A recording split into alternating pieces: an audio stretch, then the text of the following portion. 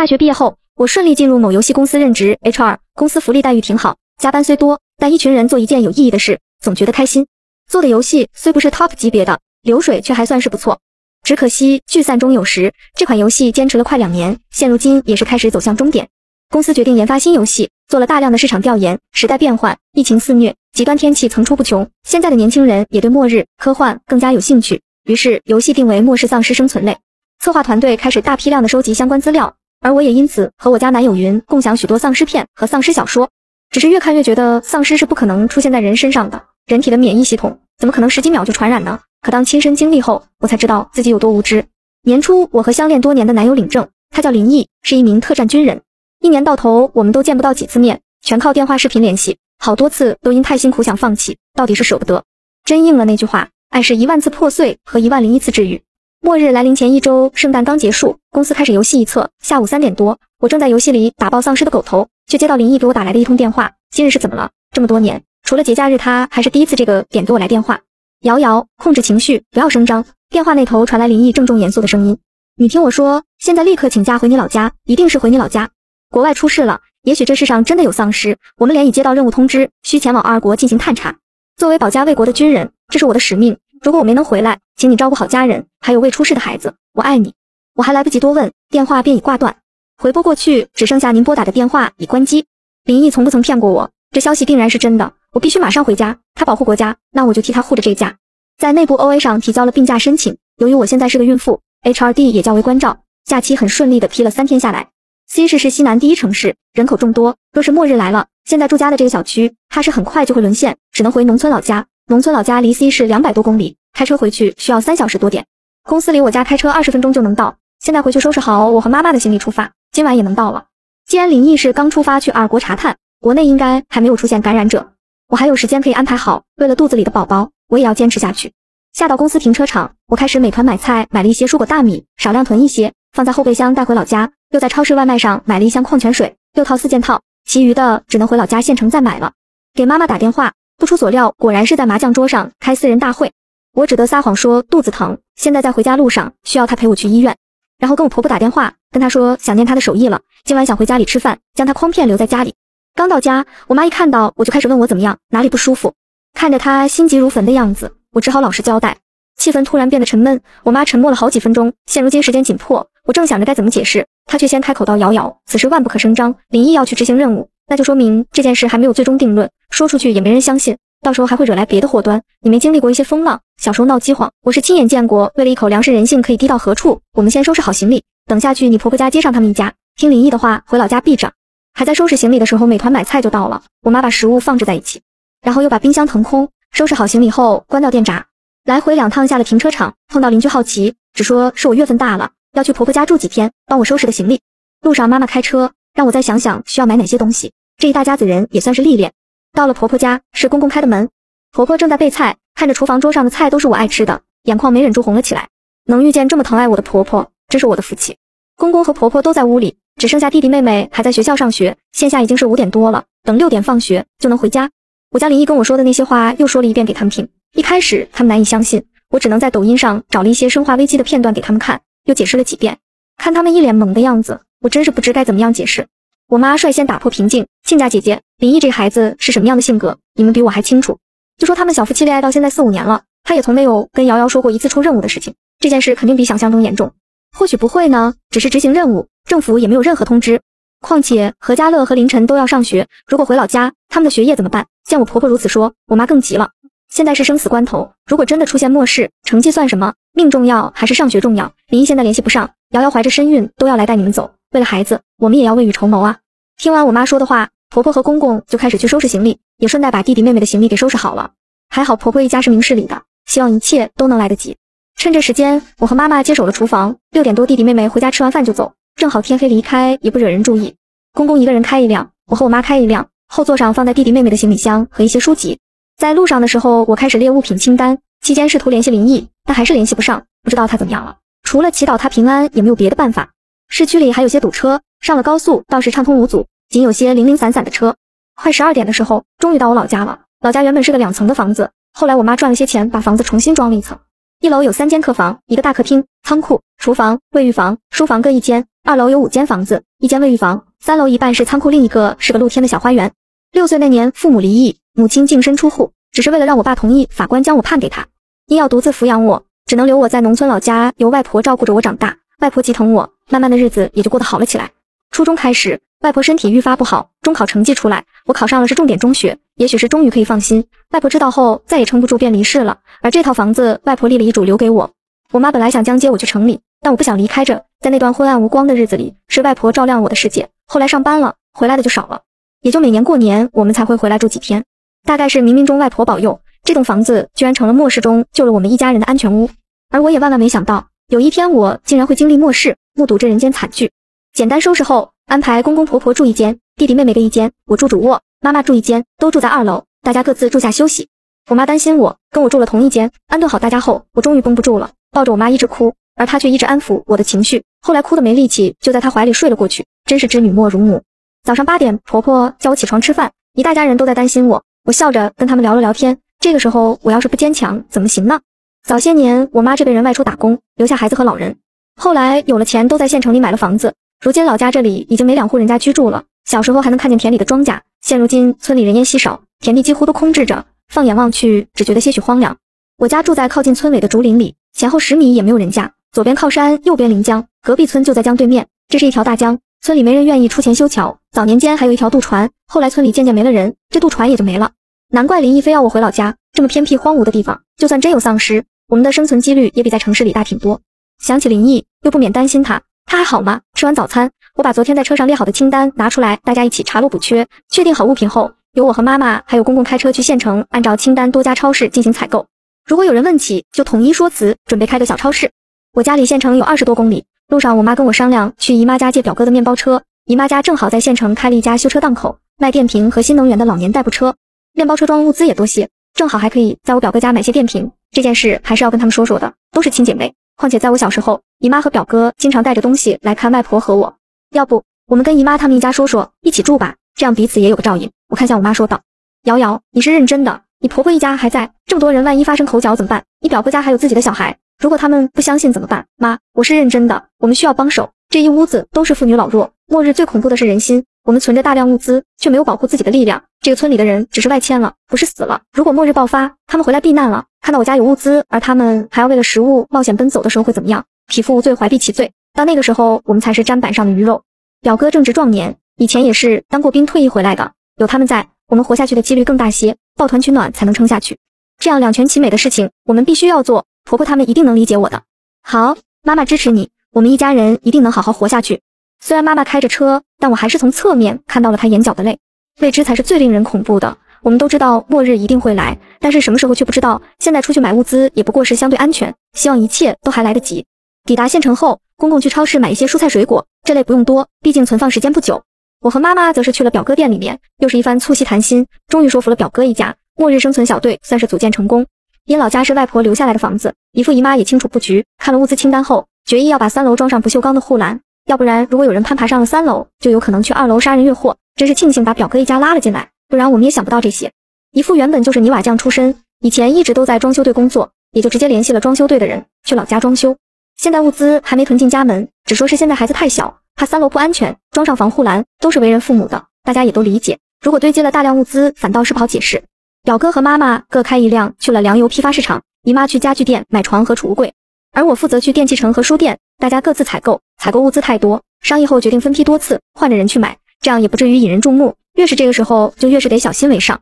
我给婆婆和公公打了电话，讲明情况，原以为他们会不高兴，结果他们却夸我，弄得我还挺不好意思的。姨妈买了三张新的床和两个立地靠墙的置物柜，我在电器城买了六台 iPad，两台十一 Pro 二 TB 版，四台十一 Pro 一 TB 版。让老板帮我下载好电子书籍和一些网课视频，然后报名了两家线上教育平台，用个人账号登录，把初中和高中的网课下载成 MP4 的格式，尽量让弟弟妹妹能够在家上课。右上看着银行卡里扣掉的钱就肉疼，这可是我半年的工资，银行卡还剩下了四十多万，这是我和林毅这么多年一起存的钱，也不知道够不够买那么多东西。然后买了三五零 W 功率的太阳能板十二个，幺五零零 W 功率二百万毫安的移动电源，老板打个九五折，又抹去了零头，收了四万五。原本老板好奇我买这么多干嘛，我只说是家里在农村，今夏干旱，家里总是断电。思来想去，还是想着买点太阳能电板。听我这么一说，老板又推荐我买了几个逆变器，有些电器直接用太阳能板是没办法拉动的。真是热情的老板，还带科普的，就是小两万又没了。本就不富裕的家庭，雪上加霜。买完跟老板商量好，让他等我再去买点东西，再跟我一起回去帮我装电池。照着清单来到小家电区域，购置电饭锅，挑了三个十三升的电饭锅，幺五零零 W 的火锅，电磁炉六个，可以同时炒菜。如果有损坏，也不至于没得用。不买二零零 W 的是怕万一停电，我的移动电源功率不够。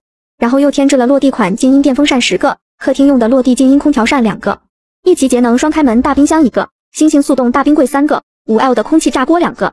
原本想买个大烤箱，但太阳能的移动电源功率跟不上，买回去也是闲置，只能空气炸锅凑合一下。给了工作人员我们村口的地址，商量好晚上七点左右送货上门，错开时间让太阳能的老板去装电池。在家族群里通知大家电器城物品已完成采购，本来想着早些出发，中午给老板备好午饭。好在多嘴问了老板有没有吃过午餐，老板说家里人送饭路上了，不然浪费一些粮食了。在群里艾特婆婆帮我留午饭，晚点等老板吃完饭后，坐着老板的车一起回家。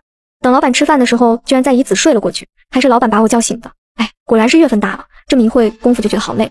从县城回家，城区还是车水马龙，出了城区路上的车辆就开始减少了，多数是些装着砂石的大货车。到镇上的时候，也就少数人家开着店门。前两年过年的时候，还有一些餐厅、超市之类的开着门，现在也都看不见了。城市发展越来越好，大家都想留在城里，寻求更好的发展，农村只能愈发人迹稀少。虽知这是国家发展的大势所趋，但也不免唏嘘，只是我童年记忆里的这个小镇，以后只能活在我的记忆里了。想起小时候赶集，镇上好不热闹，各种餐馆、蛋糕、零食店，当真是麻雀虽小，五脏俱全。每次从村里去镇上赶集，都想让外婆给我买点蜂蜜蛋糕或者辣条之类的零食。每每外婆拒绝，我就开始撒娇卖萌，各种保证以后会乖乖听话，好好学习，云云。只为了满足口腹之欲，外婆也总是耐不住我，十有八九是要满足我。有时是买两块钱四个的蜂蜜蛋糕带回家，有时是一块钱三包的辣条，有时会花上好几块钱买一大包大刀肉带回家，让我每天吃一块。想起这些，依然觉得温暖幸福。外婆，我真想你，你也一样很想我们吧？不知道如今的我是否长成了你期盼的样子？你在天上能看见我吗？我好怕我保护不好家人，就像当初你离开的时候那样无能为力。如果我没能保护好大家，你也会像小时候我犯错的时那样摸摸我的头，好好的跟我讲道理，不会怪我对吧？到家已经是下午一点半了，把货卸载在一楼客厅后，便带老板去往天台。装修队七八个人正在天台装护栏，果然人多力量大，这么一会功夫就已经完成了三分之一。有两个叔叔和姨父关系好些。以前姨父家有大喜事的时候，都会来做客，少不了跟叔叔们寒暄了两句。把防护栏的图纸给老板看了看，让他选个适合的地方装太阳能板。老板看完图纸笑话我，这是装防护栏吗？看着倒像是装笼子。我还是第一次见在天台装个笼子的，我心下一惊，但面上还是笑盈盈的开口道：“这也是没有办法的。一来家里小孩多，又都是些调皮捣蛋的熊孩子。你看这上面这个水塔，我们还没建梯子，他们就敢拿着木梯爬上去。我这马上也快生了，到时候更是危险。装成这样也是怕了他们。二来这个太阳能板这么贵，万一有些小贼看上了。”给我拿走了，损失就大了。一番解释将老板糊弄过去，往楼下大喊了几声姨父，让他上来看看电板是怎么装的，留下他们一起在天台干活。天台在搞装修，沙尘也大，我的肚子唱起了空城计，又饿又累。且术业有专攻，还是交给姨父去监工好了。饭桌上是婆婆给我留好的饭菜，还是热的，想来是我到家的时候，婆婆特意又去给我热了一遍。吃饭的时候又在群里看大家采购的物资，今天的任务大致都已完成，只是装修队的人都在，人多嘴杂的，还是得等他们走了再搬回来。看着吃饭的圆桌，十几个人吃饭有点太挤。在群里发表采购意见后，被全员驳回。大家都说站着吃也可以，端着碗去旁边吃也可以。家里地方就那么大，要用来买装物资。我在网上买了些七厘米厚、二百平方米隔音棉和三把太极剑，选了顺丰次日达，明天就能送到。我一个人买太多不好，你也下单点。附上了图片后，表哥在群里艾特我，当过兵就是不一样，这接收能力和执行力简直杠杠低。速度在淘宝上选择 C 市发货，买了表哥同款隔音棉二百三十平方米，三把剑。丧尸片里的丧尸视觉不行，但是听觉和嗅觉都是异常灵敏。门窗紧闭之后，味道不容易转出去，但是声音还是容易转出去的。看样子我哥还抽空恶补了一下丧尸知识。快三点的时候，装太阳能板的老板终于装好了电板和逆变器，叫我上楼和我还有一副讲解了一些基础知识，怎么辨认正负极，非损坏情况下出现断联该怎么安装，又细心叮嘱了不能同时使用多个大功率电器，幺五零零 W 以上的最多三个，不然拉不动了。把这些都用视频录下来发进来家族群里，万一不记得了，大家还可以照着视频来修。十二块电板最后还是安装在了顶上的水塔边上。原本设想装天台，老板说会被防护栏影响到发电，一天就算日照七小时，受影响后也只能发十来度电。装在顶楼阳光好的时候，一天日照七小时可以发二十来度，维持家里的基本用电还是没问题的。又听了老板的建议，放了两块二百 W 毫安的移动电源，接上电板，把电存储起来，避免造成浪费。算了算，普通落地扇一小时耗电零点一度，大冰柜每天自然都是要开着的，一天至少二度。算下来，每天的用电至少是在八至十度。日常生活用电，一家人最少要五度。十二个电板勉强也是够用了，想再装几块也没地可以装了。送走老板后不久，姨妈就带着送家具的人来了，把床安装好，又把储物柜装在客厅的左右两边，床的质量不错，又跟老板加订了两张一米二大上床下柜的床，一架一米左右的婴儿床，让他现在就送过来。换成上床下柜房间就大了许多，可以多放一些物资。忙了一阵子，身子太累了，回到房间休息，倒床就睡。睡了好一会，被长辈叫起来吃晚饭。一看手机都八点多了。天台的防护栏也装好了，婆婆给装修队的叔叔们一人发了一包烟，封了一个大红包，大家开开心心的都回的家。给林毅打了个电话，依然是关机状态。以前林毅执行完任务，深夜都会给我发信息报平安，已经过去两天了，还没有与我联系。我想二国的形势应该很严峻，目前国内依然没有相关信息，应该还没有蔓延过来。我们还有时间可以安排。吃完饭。大家一起盘点了今天采购的物资。我妈和表哥采购的米八百斤，面粉二百斤，二十 L 食用油一百桶，十五 L 的花生油三十桶，十 L 芝麻香油两桶。公公采购的五十瓶沐浴露，一百瓶大瓶洗发水，护发素三十瓶，牙膏五十支，洗衣粉五斤装的五包，洗衣液两千克三大桶七百 ml 替换装二十四袋二箱，柑橘桃李这类的水果几斤，新鲜蔬菜和土豆洋葱西红柿各五斤，还有几根老南瓜和两个大冬瓜。表哥用面包车跑了三趟才把东西都运回来。仓库都被米粮堆满，蔬果类的只能放置在冰箱和厨房。明天上午，叔叔和爸爸去粮油市场，一人买三百斤米，二十 L 的食用油，一人买二十桶。下午，小姨再去买同等量的，分批买不容易起疑。上午，我去超市买一些大水桶、水盆和碗筷、盘子，再买几袋无烟炭和炭火炉回来。冬天这么冷，万一停电下雪，这太阳能也是没有用的，备些炭火也可以取暖。下午去农贸市场买蔬果种子和化肥，蔬果类的存放周期太短了，还是得自己在家种些。楼上天台可以种，后面的山肯定是不能去种的。明天我去田里挖点土回来，天台装了防护栏，也不怕有小偷用来种菜，再好不过。再买些白色的泡沫箱，也可以种点菜之类的。爸爸和叔叔下午也一起去买水泥和门窗，门要最好的防盗门，玻璃要防弹玻璃，把家里的窗户和门全换了。记得多找几家买，我们自己装。如果遇见熟人，就说帮亲戚搞装修。明天上午，妈妈陪瑶瑶去医院做第五次产检，做完产检去买一些母婴用品，奶粉、纸尿裤都不能少。正好你是孕妇，换多几家药房买维生素、感冒药和肠胃用药，阿莫西林和头孢少量买些，云南白药买三瓶，酒精、葡萄糖、纱布、绷带、创口贴、医用棉签多备些，小婴儿的日常用药也买些。至于小姨，明天上午去食品批发市场买一些干货和速冻丸子之类的物品，各种配料和调味料也要算着人头买一些。再去家纺城买一些棉被和四件套。下午就和瑶瑶还有妈妈一起去书城给孩子们买教材教辅。大家看看还有没有补充的，没有的话，明天就先这么安排了。表哥给每个人安排好了明天的工作。除了孩子们，就剩下嫂子和婆婆空闲着。那我呢？婆婆和嫂子异口同声道：“阿姨要在家照顾孩子，我们出去了，这家就全靠你看顾。老婆，你得把店守着，直接关店太引人注目。反正平时我和爸爸也经常外出修车，店里没有我们也没事。”好的，两人都点了点头。细心的表哥又把刚刚安排的事项做成清单发到群里，便让大家各自去洗漱休息。十一点的时候，翻来覆去的还是没睡着，给林毅打电话还是关机，只能发微信跟他说我们一切都好，家里人都在一起。也囤了不少粮，现在家里的主食都够吃小半年了。后来也不知是几点睡着的，早上被阳光叫醒，冬日的阳光暖洋洋的，让人心情也好了不少。吃过早饭，大家按照昨晚商量好的事项去行动。表哥又细心叮嘱了一番，就各自开忙。我和姨妈去人民医院做孕检，B 超显示孩子一切都好，发育正常。血检和尿检要下午才出，结果绑定了公众号没问题的话，下午也不用再去医院。这孩子真是心疼我，整个孕期都不怎么折腾，每次产检结果也都好好的。做完产检去买了些母婴用品。又换了五六家药房买药，疫情期间买感冒药都要登记身份信息。好在县里从疫情开始到现在，就最初的时候有过两个病例，登记了信息也没过多查问，算是一切顺利。看了看群消息，在群里问了一下大家的情况，都没什么大问题。偶尔遇到一两个人好奇的，就找借口敷衍过去，一切都在顺利的进行中。婆婆也在家备好午饭，等我们回去吃饭。除了姨妈、表哥一家中午还是在店里吃，免得外人起疑。原以为今天都会顺心顺意，但午饭后我接到了林毅的电话，这是一个陌生号码。打过来的时候，我正准备午休。瑶瑶已经确定丧尸感染了，情况比想象中更严重。二国 B 市已经开始出现大量的感染者，当地政府为了掩盖消息，对外宣称新冠变异毒株，B 市封控静态管理。有些感染者或许在封城前已经前往首都 D 市，政府已经紧急熔断从二国的航班。林毅的声音从电话那头传来，伴随着直升机的气流声，显得十分嘈杂。老公，你怎么样？什么时候才能回来？家里一切都好。林毅的声音打断了我，我都好。时间紧张，你听我说。丧尸病毒还没有像电视里一样几十秒就感染，但是十几分钟后就会被同化。如遇到直接爆头才行，心脏没用。二国的 C 市离我国 H 市最近，现在 C 市还没有出现感染者，但也不知道什么时候会爆发。时间不多了，你一定要照顾好自己和家里人。那你呢？你我还没问完，林毅就已经挂了电话，情绪突然就崩了，眼泪夺眶而出。林毅，你这个混蛋，你居然挂我电话，我那么担心你，那么害怕。你就不能多跟我说说你的情况吗？你只知道担心我，告诉我这些情报让我活下去，难道你就不知道我更希望你好好的吗？难道你不懂我最在意的是你的安危吗？大笨蛋，等你回来，我一定要让你跪一整夜的榴莲。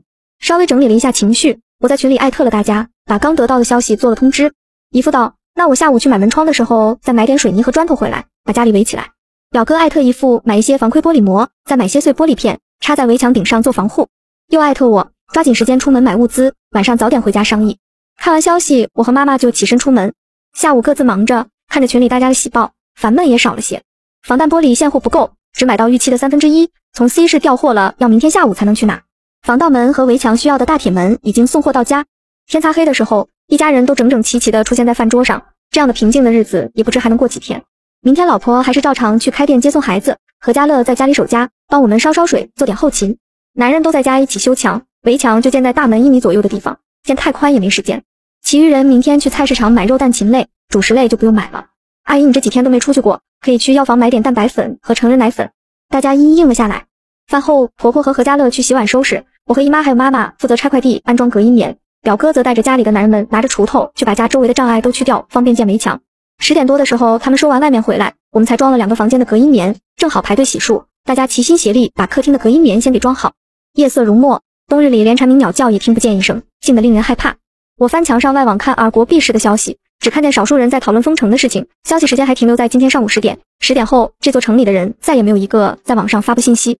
退回内网后，才想起我的假期今天到期，又在 OA 上提交了请假信息和年假休假的审批信息。这一夜睡得极不安稳，噩梦连连。一会是林毅他们小队有了伤亡，一会是感染者从 H 市的渡船上岸，H 市沦陷，一会是大量丧尸从家门口路过。我们一家人一整天也没敢开火煮饭，终于是潮过去，却有几只丧尸掉队，在我家外面的竹林打转。早上醒来的时候，额头上居然有一层密密的细汗。这大冬天的，吃完早餐，大家也各自出门忙去了。今天物资采购极为顺利。现在家门口堆了一大堆水泥砖头，客厅也被塞得满满当当。冰箱到家后静置了一天才通电，昨天做了清理去味，今天正式启用，几乎都被塞满了，只剩下一个冰柜，还有六七十升的位置。在弟弟妹妹和两个小侄子的强烈要求下，答应明天去超市给他们买些半成品的鸡块、薯条之类的。两个小侄子手舞足蹈，可把他们开心坏了。现在他们还不知道书房已经堆了好几大箱的教材资料。要是知道，应该会哭晕吧。想到这个场面，我不禁笑出猪叫，引得他们疑惑的看着我。没事没事，我只是替你们开心，你们这么高兴，我就更开心了。于碧他们又继续开心起来了。果然是小孩子，真好哄。家里的门窗今天都已经装好了，围墙建了个二三十厘米，一切都在往好的地方发展着。晚上九点多的时候，表哥出去了好一阵。自从没有林毅的消息，我每晚都辗转反侧，以至于十一点多表哥回来的时候，我都还没睡着，也不知道去干什么了。大家都是成年人，也不好多问。但现在情况特殊，还是没忍住发了个信息叮嘱，让他尽量少出门。清晨醒来才知道，昨晚表哥出去也是为了这个家。在大家都没想到的情况下，表哥托朋友买了四根电击棒，还有两个高倍望远镜，四架无人机。今天下午还会有人送一百桶桶装水，五公斤、二十四罐、十罐、五十斤重的液化气来。我不免有些不好意思，居然误会了他，大大方方的跟他道歉。表哥安慰我，替我解释时担心他的安危，有这样的家人真好。吃早饭的时候，大家大概盘算了现有的物资。公公提议把屋后的猪圈用来养小鸡，但小鸡的声音怕引来丧尸，还是决定把二楼的一间房间用来养小鸡，有隔音棉和防弹玻璃，声音也不怎么传得出去。买十只芦花鸡母鸡，再买五十个可以孵小鸡的蛋，公鸡声音太大，还是不买为好。列好清单后，物品也不多了，由三位娘子军开三辆车出去买东西也够了。男人们都在家砌围墙。末世来临的前一天，经过这几天的采购，家里物资已经堆积成山。昨天表哥他们辛苦了一天，围墙砌了一半，今天再砌一天就可以完工了。妈妈他们在天台种菜。本来说让我和妹妹盘点物资，但需要搬搬抗抗的，只能等表哥他们收工再进行了。闲下来没事，我又开始翻墙，在网络上搜索。经 H 国出现不明病毒，二国疑似出现大量狂犬病人。二国筹拍本土版行尸走肉路透现场，搜了好一会，也只搜到这些信息。二国 B 市的论坛上的最新消息还是停留在前两天。回到国内的网络平台，居然看到 WW 是出现新型狂犬病感染者的相关热搜。评论里网友大致分成了两派，一派认为。这不可能是狂犬病，狂犬病人一般是不会咬人的。看这图片和视频，倒像是哪部丧尸电影，肯定是炒作。估计类似的电影要上映的，W W 官会炒作的。另一派认为这是真实的，可能真的出现了未知的病毒，就像新冠，谁也没想到它能对人类生活产生这么大的影响，还是赶紧囤粮要紧。还有小部分的网友真的是来搞笑的，阿弥陀佛，如来保佑，病毒退退退，上帝保佑，佛光护体。魑魅魍魉皆消我还小别咬我，去咬胖子，胖子肉多，武当王也在此，还不快快死？弱弱问一句。如果被咬了咬回去犯法吗？我笑点本就低，直接给我笑岔气了。我还是没忍住评论了一句：也许是丧尸病毒也说不定，还是囤粮保命要紧。又去公司群里艾特所有人，我家小区出现了新冠感染者，已经被大白拉走了好多人，小区也封控了。听说这次疫情社会面传播风险很大，可能会封城，大家多囤点食物在家，尽量不要出去。发完打开免打扰，退出了微信，能做的也只是这样了。我还是没忍住评论了一句，也许是丧尸病毒也说不定，还是囤粮保命要紧。又去公司群里艾特所有人，我家小区出现了新冠感染者，已经被大白拉走了好多人，小区也封控了。听说这次疫情社会面传播风险很大，可能会封城，大家多囤点食物在家，尽量不要出去。发完打开免打扰，退出了微信。我能做的也只是这样了。我想过的这一天会来得很快，但我没想到居然会这么快。三天的时间已经蔓延到了 W W，传到我们这还会远吗？一天过去，围墙终于砌好，表哥他们把物资分类、整合空间堆好，我和妈妈他们一人负责一个区域的盘点。原以为人多很快就会搞完，结果十点半才全部收拾清楚。几个孩子看到这一屋子的书籍资料。差点没把白眼翻到天上去，一个个唉声叹气的，像被霜打过的茄子似的，看着他们一副生不如死的样子，又有点好笑，还有点小心疼。果然历史总是惊人的相似，我们家就没出过什么读书种子。我还没告诉他们，还有两个二 TB 内存的 iPad 下满了网课。算了算了，看他们这副样子，我还是先不刺激了。收敛了自己幸灾乐祸的表情，又安慰了两句，看着他们的脸色变化，还是没忍住笑了很大声的出去了。哈哈，聪明的我跑得快，再不跑，他们的眼神都能把我给凌迟了。全部收拾完，才发现除了预留的一块地板的宽度作为通道的地方，家里已经没有活动区域了。原本想把煤气罐放在家里，但家里堆不下了，只能在围墙里按照大小分开放着。剩下的空地堆了许多纸箱之类的，准备明天拿去废品站卖掉。蚊子腿也是肉，别问我为什么这么节俭，我绝不会告诉你，我的余额已经从六位数变成了堪堪五位数。这天杀的病毒真是恨得后槽牙都快给我咬翻了。累了一天，沾床就睡，半夜被直升机的气流声吵醒，从窗外看出去，只能见到细小闪烁着的灯光渐行渐远，真奇怪。这个时候还能有直升机从这里经过，多想无用，还是睡觉算了。早上吃完早餐不久后，手机里的群聊就开始出现 C 市疫情的消息。C 市政府派出公安辅助紧急隔离，并第一时间发布政府通告，要求群众居家隔离。时间快到令人啧舌，大家还在群里纷纷道这疫情什么时候是个头？有些人则在表扬政府防疫及时速度越来越快。可只有我们一家知道 C 市已经出现感染者，不，政府也知道，要不然也不会出警，通告也不会那么及时。更巧的是，事发地就在我家附近的小区。人们永远不会知道意外和明天哪个先来。过往我想都没想过，短短一天时间，C 市竟也能有天翻地覆的变化。我和林毅的家可能再也回不去了。可是林毅，你还活着吗？那天打完电话后，又回到了失联状态。微信聊天框里满屏都是我的担忧与思念。照常给林毅发日常生活，又在公司群和朋友群里冒泡。这次疫情可能凶险的很哦，警察都出动了，大家赶紧下单，多买些物资，在家里宅着，别出门了。瑶瑶说的对，还好我昨天去超市大采购了一番，现在在家里吃喝不愁。就算疫情持续个把月，也没事。美术部的 UI 设计师谢小小说道：“你家在哪？我要来蹭饭。”群里同事开始插科打诨。谢小小，新完美湖二单元 A 座，有同一栋的小伙伴吗？还真有，好巧，我居然有两个同事，真和他一个小区。私聊私聊，我已经加你们微信了，你们通过一下，咱们三个拉个小群。疫情期间，邻里互帮互助程序组的男同事发起了邀请，可谁也没有想到，现在还是互帮互助的邻里，当发现城市不是新冠，而是丧尸感染后，他们却将谢小小侵略杀害。而这一切只是为了让自己活下去。如果我像谢小小一样在群里告知真实情况，想必会组团来杀我吧？这就是人性嘛。本来计划今天出去把纸箱卖掉，再买一些监控摄像头回来。现在丧尸离我们就两百多公里，谁也不敢再出门，只好搁置。一家人在客厅聊天，商量接下来的生活。长辈组成的长老团提议，除了两个小侄子，全员轮流值日，两人一组负责公共区域的卫生和晒衣服，两人负责做饭，两人负责洗碗。小侄子们负责每天洗袜子、叠衣服。全员赞成无异议。养鸡这种技术活，我们几个小辈实在是不懂，也受不了每天去收拾鸡窝，只能全权交给公公。公公因此也不需要参与其他值日，而天台种植的蔡，婆婆和姨妈主动提出由他们看顾。商量好了之后，姨父去屋后的水井里把抽水电机换一个新的，妈妈守在电源总闸处开关电源，表哥和公公拿着武器在周围望风保护姨父。公公穿着短裤和老式的军鞋，肩上扛着锄头，表哥手里拿着把六十厘米的西瓜刀，各站一边。这画面有种莫名的喜感，怎么说呢？左右护法，哼哈二将，总之画面太美。我这浅薄的词汇量不知该怎么描述。从我记事起，这口井就一直存在，大概是靠江水一直很清。以前夏天放学回家，就直接在厨房的水池用水瓢舀一瓢喝，还觉得甜甜的。当然，每次被逮的时候都会被外婆告诫一番。现在城市里的水虽然清澈，但煮沸了还是有一股消毒水的味道。换电机并不难，只见姨父把旧的电机从井里拉出来，缠绕放置后，把新的放下去，没一会就好了。正好他们带了锄头出门割，砍两根老竹子回来，我在窗户对着表哥他们喊道。砍回来干嘛？削尖了可以做武器呀！真是笨蛋表哥，这也想不到。老竹子坚韧又那么长一条，用来戳丧尸不刚好？只好对表哥解释道。家附近静悄悄的，这一喊话显得我们的声音都有点空旷，大概是暴风雨前的宁静吧。反正打死我也不会承认是我嗓门大的，我可是个娇滴滴的软妹子，难道我不要面子的吗？竹子砍到一半，我看到远方又有直升机朝我们这边飞过来，哥，赶紧回来，有情况！我大喊道。表哥他们拉起竹子就往家跑，我从窗户快步挪到衣柜，操起望远镜就往天台跑。从望远镜里看到有四架军用直升机，速度极快，正往我家这个方向飞行。几分钟后就到了我家上空，气流声嗡嗡作响，打破了原有的沉寂。不知道现在的是什么情况，我也不敢拿全家人的性命冒险，只能躲在门后用望远镜一直望着。前面的飞机都没有停留，直接从上空掠过，就最后一辆在我家上空盘旋着，停留了一两分钟才走。看着他们飞走，我才敢从门后出来。一直望着他们往深山老林的方向飞去，直到消失在我的视线里。到底是个什么情况呢？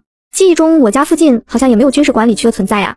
阳台现在十分拥挤，像是白色泡沫箱的领地，以至于表哥和姨父上来找我的时候，我们只能排成一列。我看着这些绿苗和泥土，除了小葱、大蒜，别的啥也认不出。要不就是种子还在土里，不在土里的这几棵树苗也不知是啥东西。姨父看我一脸懵逼的样子，又给我介绍了一番。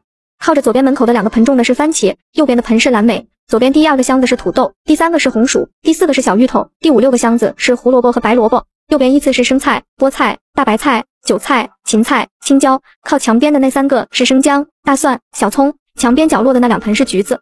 还遗憾地感叹到家里阳台只有这么大，想多种点也种不下，只好宽慰道：“我们已经很幸福了，这些蔬菜每天收集，两天炒一次也不错呀。还有水果可以吃，说出去不知道得羡慕死多少人呢。”姨父笑着点了点头，随后把防护栏上锁上的三把大锁检查了一下。随后关门下了楼，C 市关闭了高速通道。表哥说接到政府通知，我们县城也开始紧急封城，实行静态管理。看到群里的消息越来越不对，这一情好像不对劲。我看到我们小区楼下有个人佝偻着身子，不停地走来走去。过了没两分钟，有人回复这不是新冠，我看见了，我在外面，谁来救救我？随着这段话发出的还有一个视频，视频里的人拖着残破的身子，摇摇晃晃地冲向活人。一群残缺的人将一个正在呼救的男子包围起来，在撕心裂肺的吼叫声中，他的胳膊被丧尸活生生扯断。鲜血喷洒在这群人的身上，呼救声越来越弱，直到他被啃食殆尽，只剩下一副残缺的骨架，再也没有了声音。他肯定想不到，只是像往常一样的出门，竟会遇见如此匪夷所思的事情。他肯定也从来没想过，有一天电影里的情节会出现在现实生活中，更想不到自己会死得如此痛苦，保留在意识一点点看着自己被蚕食殆尽，直到这世上再也没有他这个人，他心里该有多痛多恨。还有些人被丧尸抓伤后逃向了其他地方，电影里被丧尸抓伤或咬了之后就立刻被同化，可现实世界里却并没有立刻变异。视频里的他们的眼眸布满了红色的血丝，因为感染，眼球突出，似乎没了焦点。有些人的眼球甚至挂在了脸颊上，抽搐着身子，摇摇曳曳地走动，像个老人。可看见活人却跑得飞快。他们的身上布满了同类的血，暗红色的血渍已经看不出原本的服装颜色。大多数都是缺胳膊断腿的存在，还有些四肢健全的，只是手臂上的血管青筋无疑不再暴露他们的特殊性。然而，这群人在今天早晨还是这个城市的一份子，是孩子的父母，是彼此心爱的宝贝。可是现在，他们却将自己的同类视为仇敌。只要被他们看到的活着的人，就像瘾君子看到违禁品一样。不，他们已经不能称之为人了，他们成为了丧尸，没有灵魂，没有思想，只有最原始的生存欲望。街道、铺面都被鲜血染红，尸横遍野，令人心悸，连太阳都吓得躲了起来。视频看得我心中十分悲凉，眼泪不停落下，好一阵子才缓过来。如果我没有接到消息，他们的今日也是我的今日，我的孩子也再也不会见到明天的太阳。庆幸之余，又感到后怕。可林毅还是没有任何消息。林毅，你是孩子的父亲，你到底怎么样？你平安回来了吗？一直以来，我都以你为荣，也深知军嫂的责任。可是面对这一切，我还是不能免俗的想你回家，想你平安，更自私的想要一家人团圆蜗居在这栋房子里，哪怕我们最后还是难逃一死，可死在一起也是好的。可是我知道你，我远比你了解自己更了解你，你不会放弃你的使命，更不会在这个时候做一个逃兵。我想政府现在压力也很大，人力有穷尽，面对丧尸病毒，我们宛如蝼蚁。即使第一时间派出精锐去二国查探得知了信息，可他们又能做什么？除了知道病毒具有高传染性，会使人丧失本性，其余一无所知。病毒来源是什么？该如何去克制病毒？又该怎么疏散人群，保护国民？这些又有谁能帮他们找到答案？除了快速将人遣送回家，他们又能做什么？政府的工作人员也是人，也有自己的家和亲人。面对这一切，也是靠着一腔热血去坚持。我们在害怕的同时，他们也一样害怕。可是他们明知不可为而为之，以性命守护。这一腔孤勇，难以令人不折服、不敬佩。群里的信息越来越令人心惊，是丧尸，丧尸来了！C 市完了，政府在干嘛？平时风吹草动都出现，现在都在干嘛？不行不行，我家没有吃的，怎么办？政府是不是沦陷了？他们管不了我们了。我看到外面路口处有几个身穿警服的丧尸，怎么办？我家小区有几个丧尸过来了，关好门窗，不要用动静，别出门，相信政府。啊！我刚跑回家，看到我对面有人好像受伤了，怎么办？会不会变成丧尸？求求老天爷，让我快醒来吧！这个梦太真实了，我真的受不了了，不行了。我得离开 C 市，对对对，我们也要离开 C 市，抓紧时间跑吧。C 市不能再待了，丧尸越来越多了。我总算是理解国家为什么不敢提前疏散。开始的时候只是怀疑，没有真凭实据，根本没办法令群众相信。等证实了，才发现更棘手，不知道传染源，更不知道那些人去过二国有没有被感染，潜伏期的症状是什么也不知道。一旦公开，普通民众只会加深恐慌，别的还是无能为力。况且国内人口这么多，一时间也没有合适的地方可以马上迁移。如果都聚集在一起，真出现感染者，那才是灾难。现在那些人被抓伤、咬伤了，还是跑回家里去躲了起来。我并没有责怪的意思，人在面对死亡时都会害怕，又有几个人敢直面生死？将心比心，如果是我，我也会找地方躲起来的。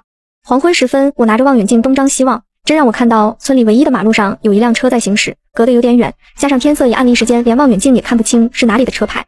直到近了些，才看见是 C 市的车牌。C 市有人逃出来了，这是一辆银色 SUV，车身上有着大面积的污渍。我一边偷窥着他们，一边在群里艾特表哥和妈妈带着无人机上阳台来。车停在了马路左边，靠池塘的那户人家门口。车上下来了四个人，三个大人，一个十来岁的小孩。小孩在路边站着，其余人开始下行李。好像是孙大娘家。妈妈对我和表哥说道：“是不是那个孙武的妈妈呀？”表哥倒是有点印象，倒是我对他们都没啥记忆，只能听着他们聊。对对对，就是孙武的妈妈。妈妈点头附和。我先用无人机去看看他们家情况。表哥操纵着无人机往孙家飞去。妈，那个孙大娘是什么人呢？我疑惑道。也是个苦命人，她男人死得早。靠捡废品打零工把孩子供大，后来孙武考上了大学，他们一家就很少回来了。这些年我也很少见到他们。那这么说，孙大娘跟你一样都好伟大。是啊，都是天涯沦落人。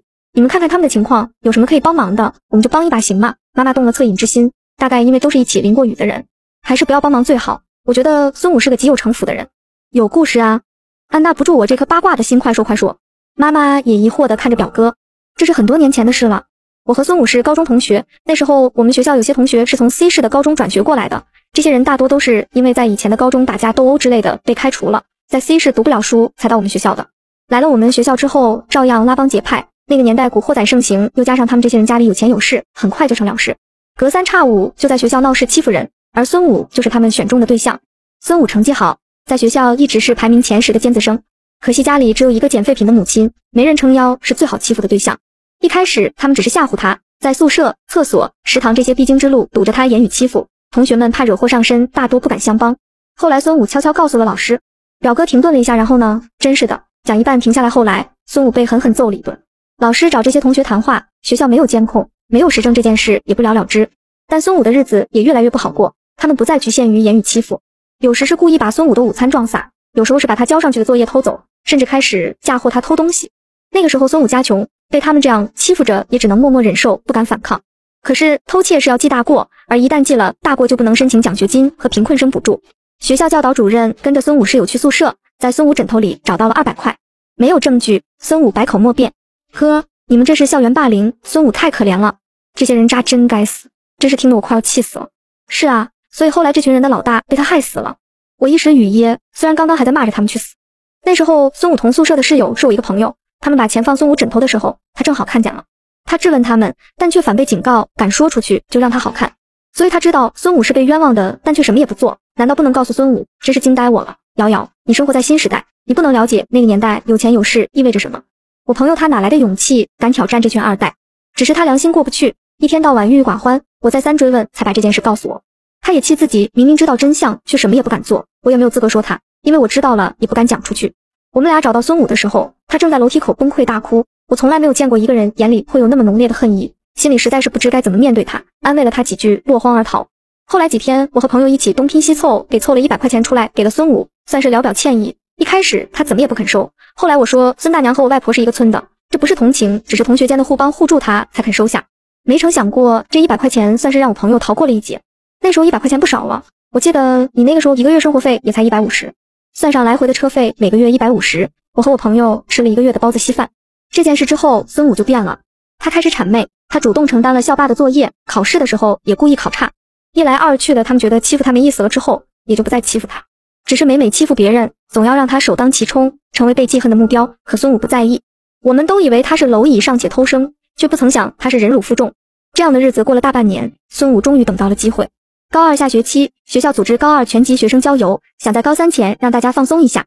原本计划的是在我们当地的农家乐游玩，后来因为校霸家出钱施压，改成去了康定。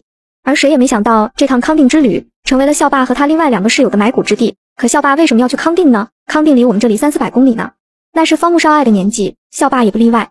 一直以来他在学校里呼风唤雨，女朋友一茬茬的换，只有身为校花的赵小雪，他追了半年都没追上。郊游前不知道他从哪里听说赵小雪喜欢康定，闹着家里人赞助了这次郊游。到了康定的前两天，除了校霸和孙武的室友晚上总是偷偷摸摸的出去，留着孙武在帐篷里应付老师以外，大家都按部就班的过着。第四天出事了，随着赵小雪的呼救声划破康定寂静的夜，大家纷纷从帐篷走出。只见赵小雪面色惊恐，发丝凌乱，衣服已被撕破，露出了月牙白的内衣和一小片雪白，朝露营地跑来，一边跑一边喊着老师救命。见到老师后就开始大哭起来。老师吩咐各自回自己的帐篷，然后带着他回了自己的帐篷。过了没一会，警察就来了。是校霸做的吧？他居然做这种禽兽不如的事情。是啊，我们都以为是来抓校霸的，但却没想到是来搜救的。在公安和搜救队的行动下，他们三人的尸首在山崖底被找到。公安调查后宣布，赵小雪因是正当防卫，无罪释放。据说是因为校霸对赵小雪表白被拒后，想趁着月黑风高把赵小雪给强了，来个米已成舟。赵小雪奋力反抗，拉扯扭打间，他们不小心跌落山崖。为避免校霸家里寻仇，回到学校后，他家长就开始给他办转学手续。我从操场边上的小树林经过，正巧碰见他和孙武。只听赵小雪说：“别以为我不知道你都做了些什么。”两人不欢而散。当时孙武脸色阴沉的厉害，为避免尴尬，我装作没看见，绕路走了。可是这又关孙武什么事？妈妈不明，所以正常人都觉得是没关系的。可是我一直觉得这件事一定是他做的，正是因为没有任何证据，所以他才更可怕。那个时候他才高中，稚嫩少年就有这么深的心计。真有了生命冲突，我们家现在有谁心机玩得过他？我赞同表哥说的，帮助的事就此打住。无人机在我们聊天的时候已经从孙武家飞了回来，带上无人机，我们回到客厅，打开笔记本电脑，导出了 SD 卡上的视频。视频里车上的污渍看着像是干涸的血，暗红色又混着尘土。孙武一家都是劫后余生的面色，一家四口物资却很少。就三个行李箱子和少量的食物、饮用水。他家里人在收拾东西，而他拿着家里的鱼叉去了鱼塘叉鱼，看样子今晚是准备吃鱼了。后来孙大娘也开始在周围转来转去，应该是想找找看有没有什么食物。可惜村里没人，自然也不会有庄稼，只能败兴而归。但看他们这情形，感觉明天就会找到我家来。真是没想到，丧尸还没到我这，倒是有人来了。看完视频，我翻墙看了二国的情况。二国除了首都地势几乎是全国沦陷的状态，病毒爆发的太快，政府全线崩塌。二国网民一条条的求救信息时间停留在了昨天，然后再也没有更新。而我国的 W W 市也几近沦陷，有几架紧急撤离的飞机因为混入了感染者，导致发生了空难，无一幸免。W W 当地政府直接摆烂，两千万一个撤离位置，明码标价的让有钱有权的人紧急撤离，把普通老百姓留下来，成为了丧尸美味的口粮。狗日的 W W 政府需要民众选票的时候就出台惠民政策，老百姓真需要他们的时候就拍拍屁股走人，真是气死个人。而我们国内沿海城市目前都成为了爆发区，仅一天时间就让我见识了什么是人间炼狱。C 市是最早爆发的城市，从网上的消息得知，主城区全部沦陷，大街小巷上全都是丧尸，小区也不例外。有人把同伴推出去喂丧尸，只为给自己争取逃跑的时间；也有人为了保护自己的孩子，宁愿忍受被丧尸啃食的痛苦，也紧紧的把孩子抱在怀中。可惜天道无情，最终只留下一大一小的两副骨架。还有人为救陌生人而付出生命代价，政府的工作人员牺牲了大半。这病毒一旦被抓伤或者咬伤，就会被同化。民众的恐慌达到了峰值，保守派在家里不敢出门，出逃派则是开着车出逃。C 市的高速路已经沦陷，高速拦截的值班人员全部牺牲，有的被感染成了丧尸，有的被吃了个干净，最惨的是被碾压致死的那个人。而造成这一切的都是那些想着逃跑的人。汽车的轰鸣声引起了丧尸的追逐，有些幸运的人逃了出去，而有些人在逃亡过程中车毁人亡。最可怜的就是这群值班人员，他们鼓足勇气在这里守着，就是不想让 C 市的病毒蔓延出去。可惜天不遂人愿，这些逃跑的人带来了大量的丧尸，寡不敌众的他们最终也成为了丧尸中的一员。现在高速几乎成了丧尸的地盘，大量的丧尸从高速通道走了出来。高速路的这些视频在各个微信群里发酵，总算是制止了那些出逃派的行动。我发现丧尸好像不吃死人，群里有个人说道：“这怎么说？你们看这些视频，那个被碾压死的工作人员，丧尸都是从他身上经过不理他的。”对对对，我看了，确实是这样，是真的。我也看到了那个，我能问一句，这个发现有什么用吗？不吃死人，我们总不能死吧？可是我们可以选择有尊严的死去，而不是成为丧尸，继续伤害我们的同胞啊！群里讨论的十分激烈。八点多的时候，小区物业拉了一个人进业主群，是 C 市政府的工作人员，正在统计幸存者的数量，要用无人机给大家投放物资。哎，真是没有对比就没有伤害。过往没觉得 C 市的政府好，现在被 WW 对比下来，简直是云泥之别。统计好了之后，物业通知明天上午七点半左右。物资投放点在天台，每家一份，各自出门领取。末日来临的第二天，从公司群里和自家小区群里得知，政府的无人机一大早就开始在全城投送物资，国家也开始发相应的通告，要求全国民众居家不出，减少感染，保留生机。这是人类史上最严峻的生存考验，只有万众一心才能活下去。无人机的声音避不开丧尸的耳朵，形成了无人机在天上飞，他们在地上追的画面。各个小区里的丧尸也一直寻找着声音来源。他们拥有灵敏的听力系统，但因为看不见，只能无头苍蝇似的在地面跟着航行路线追。原以为可以顺利去往天台收取物资，可有的楼道有丧尸，有的顶楼住户不愿意承受一次次来取物资时会带来的风险，不肯打开上去顶楼的楼梯门锁。一时间取物资进行的极不顺利。无力之下，业主们只能求助物业拿有权限的电梯卡。无人机吸引了大片丧尸在小区打转，物业也不敢出门。最终商议，还是业主自己去找物业拿卡。也正是因为顶楼住户的自私之举，导致丧尸追逐进入楼里。C 栋出去拿卡的业主被咬伤，大抵是想拉着顶楼住户一起死。他打开了 C 栋楼下的门，装了一电梯的丧尸去往顶楼，忍着丧尸对自己的啃食，用已经血肉模糊、隐隐可见白骨的手一遍遍地抹上自己的血，直到再也没有了力气。感染了丧尸病毒的人在血的刺激下变得更加狂暴，他们一遍遍地敲打着顶楼的门。C 栋被丧尸包围，丧尸在各个楼道转悠，房间里有一点声音都会引来他们在门口砸门。C 栋的住户连门都不敢出，楼上的物资再也没人敢上去拿。与此同时，C 市郊区大面积沦陷，从高速上逃出去的丧尸攻击了郊区的民众。有些民众甚至是在睡梦中被攻击，活着的人越来越少了。C 市周边城市也逐渐出现了丧尸的身影。末日第三天，无人机传回来的视频里，孙武一家已弹尽粮绝。白天，孙武在村里四处转悠，发现了几户留守人家。我家由于在竹林中间，一时间到也还没被他发现。后来，孙大娘在村里仅剩的几户人家那里买了一些食物，虽是杯水车薪，但也聊胜于无。可叹村里老人年岁大了，不知道丧尸的严重性。由于很多年都没怎么回来住过，只能靠柴火做饭。孙武家的烟囱吹出袅袅炊烟。由于家里没电，夜里也只能点着蜡烛。好在他家旁边还有口水井，不然没电没水，日子怎么过？夜里，孙武悄悄去人家屋后的田里偷菜。只见他东张西望着，确定没人看见后，就开始行动起来。地里种着大白菜和白萝卜。几分钟后，孙武抱着满怀的战利品，快速跑回家去。其实村子里就这么些人，用脚趾头想也知道是谁做的，只不过没证据，就像是修补一般，即使怀疑也不愿撕破脸，搞得大家都难看。由于物资领取造成了多起事故，工作人员在群里做了通报批评，并告知现在 C 市的困境，如不配合，等病毒过去将依法处置。胆小些的人默默打开了天台的防护门，只是要去他们拿完之后，其余人再上去拿，不能把丧尸放进楼里。自私凉薄的人甚至把政府发放的物资全部拿回家里。我们小区的 C 栋住户已经一整天没拿到物资了，丧尸几乎遍布在整栋楼的各个角落，像是守株待兔般。网上的舆论已经炸开了锅，丧尸出现在各个城市。一国爆发的丧尸从边境城市进入，东三省也出现大量的感染者。仅仅三天的时间，除了西藏和新疆没在网上报告以外，其余城市竟无一幸免。作为爆发地的二国，今天首都地市也沦陷，当地政府全部停摆，只能在政府网站上挂着让他们自救的公告文。由于二国丧尸众多，破坏了当地的基建网络，二国已全国进入能源断供的现状。各国政府领导人首次连线，面向全球直播，呼吁普通民众居家不出。生命科学类的科研人员将由各国政府安置保护。技术共享，共同研究丧尸病毒。此刻，我们是人类命运共同体。为了人类的延续，我们需众志成城，共克时艰。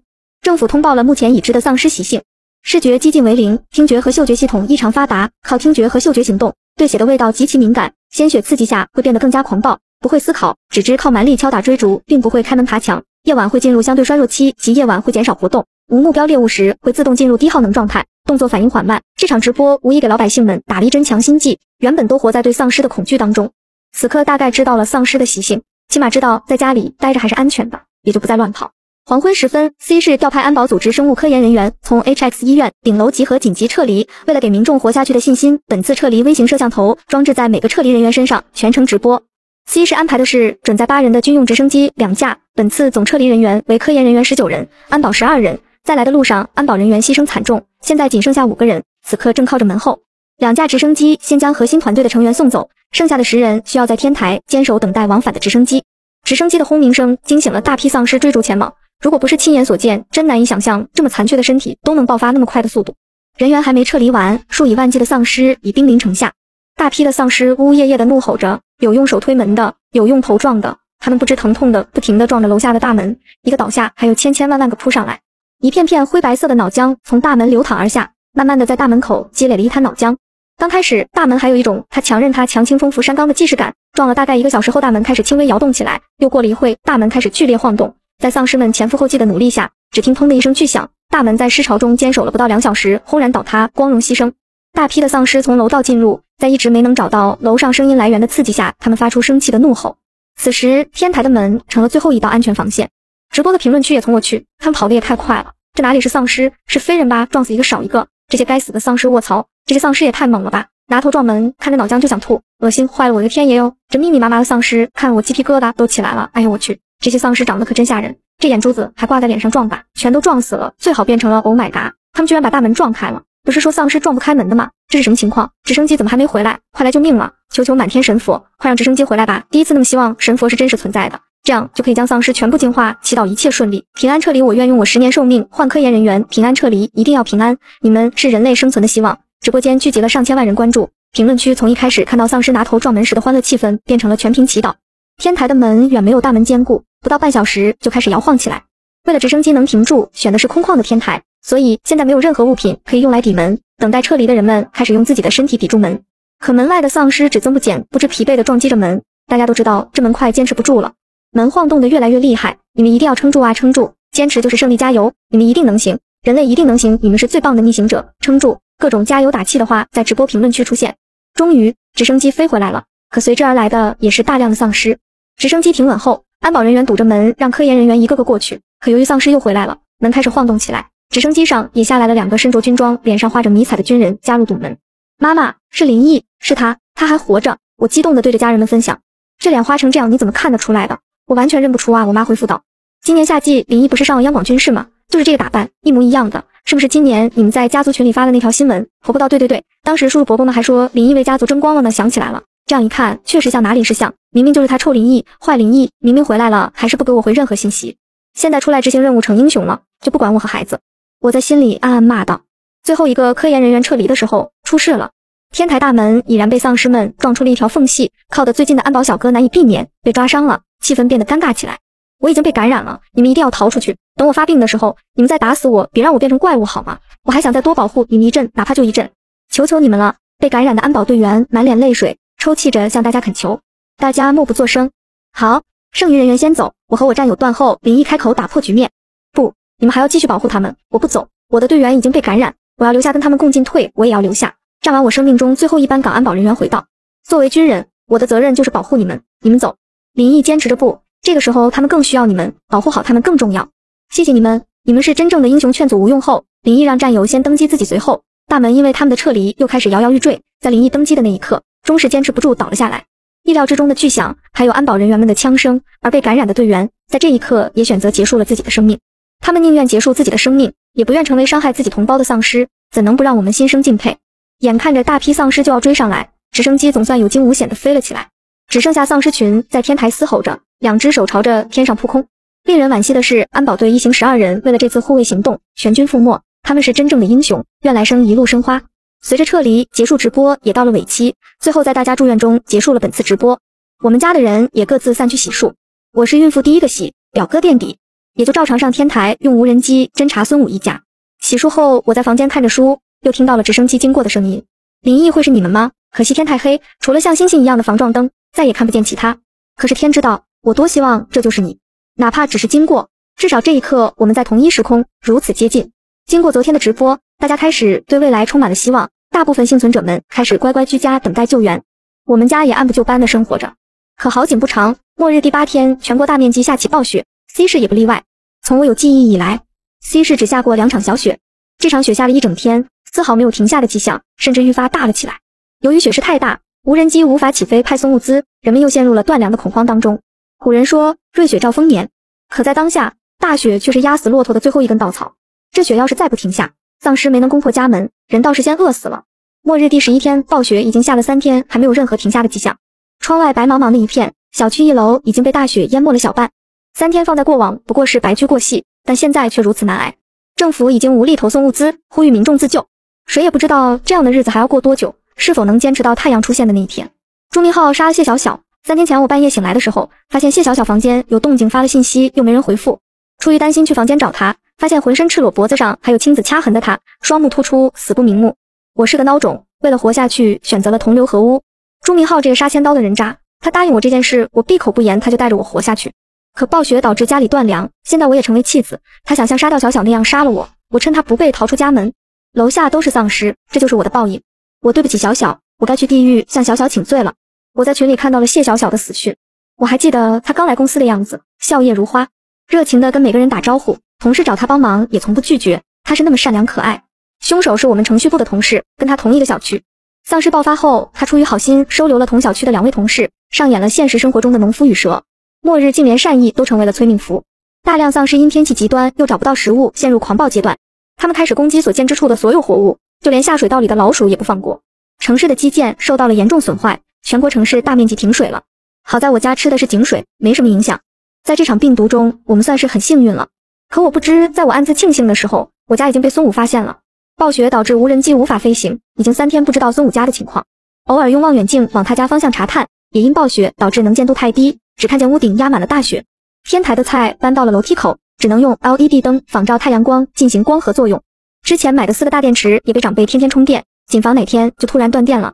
这个时候就后悔，怎么我当初没多买几块大电池？想到了太阳能发电，万万没想到 C 市还能经历雪灾。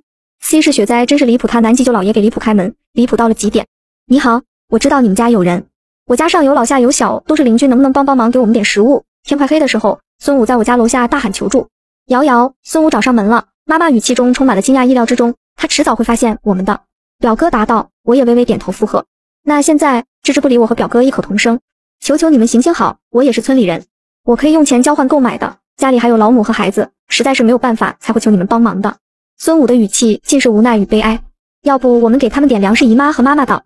不行，现在这个情况，谁能出去送粮食？放人进来，家里就更不安全了。表哥理智拒绝。可是村里这个情况，他们也有其他办法。如果我们不帮一把，他们可能就撑不下去了。姨妈道。哥哥姐姐，你们不是一直教我们穷则独善其身，达则兼济天下吗？现在我们明明可以救他们，我愿意三天不吃肉，把我那份拿出来救救他们吧。何家乐扯着我的衣角哀求道。哥哥姐姐，家乐说的对，帮帮他们吧。爸爸，小姨求求你们救救他们家吧。我们也愿意少吃点。凌晨和两个小侄子也求起情来。不是我不愿意帮，实在是这种情况下帮了一次就会有第二次。一旦暴露了我们家有大量食物，惹来的就是杀身之祸。表哥一脸无奈，我们不告诉他家里的情况啊，就少给一点好吗？孩子们一脸哀求，他们从小的教育和生活经历都令他们此刻无法袖手旁观。要不这样吧，姨妈你去拿五包装的泡面两袋，再拿三斤米、一斤猪肉、一把面，我从窗户这里给他扔出去。好，姨妈转身去备物资。爸爸万岁，小姨万岁，谢谢哥哥姐姐。孩子们满脸笑容，手舞足蹈的欢呼着。你也是村里的，叫什么名字？我怎么知道你没骗我？我在窗户边上装作什么也不知道的跟孙武沟通起来。我是池塘边那户人家的孙武，我妈就是当年村里拾荒的孙大娘。你家是樊阿婆家，李磊是你哥哥对吧？你可以问问他，他应该记得我，当然记得，还印象深刻呢。我心道，原来是你们家，可是我家也没什么吃的了，只能给你一点点，你去村里其他人家再去借点吧。谢谢您，真的太感谢您了，您真是救苦救难的活菩萨，我们一家老小会永远记得您今日的帮助的。孙武在雪地里朝着我鞠了一躬，态度诚恳，语气激动。都是邻里乡亲，我家也快弹尽粮绝，这是我能给你的极限。希望我们都能平安度过此劫。我将姨妈备好的物资用力的往外抛出去，物资落在了围墙外。看着孙武捡了物资离开，原以为事情会就此告一段落。末日第十三天，暴雪连续下了足足五日，依旧没有要停下的迹象。室外气温已经低到零下二十度，我家一楼已经被大雪淹没了大半。大家每天醒来第一件事就是拿铲子去铲雪，堆到大门外。整座国家笼罩在大雪当中。千里冰封，万里雪，飘成了名副其实的雪国。全国各地电线被大雪压垮损坏，多地开始断电断网。我所在的城市也没例外。由于断水断粮，许多人被活活饿死家中，当真是求生无门。大雪封住了丧尸的行动，也封住了人们求生的道路。举国上下哀嚎遍野，人心惶惶。谁也想不到，在二十世纪的今天，我们居然会过上能源短缺的原始生活。我家囤的炭火也派上用场。我曾看过一部名叫《流浪地球》的电影，电影里人类生存的地面已被大雪侵占。可至少政府还造了地下城，给了我们一片生存的栖息地，起码还有个盼头。可是现在又有谁能给我们一条活路，一个盼头？末日第十五天，暴雪下了七天，终于停了。天空出现了久违的太阳，气温逐渐升高，温暖如春。很想将这一幕分享给林毅，可惜断网，只能拍拍照片。太阳能电板终于派上了用场，楼梯口的蔬果也被姨妈他们搬回了阳台。随着积雪融化，丧尸又开始活动起来。兴许是饿得太久，有些丧尸陷入了休眠状态，有些则更加凶猛。幸存的人们开始为了生存物资而走出家门，大部分人成了丧尸中的一份子，幸运儿带着食物安全回家，真是几家欢喜几家愁。村里一如既往的平静，仿佛世外桃源。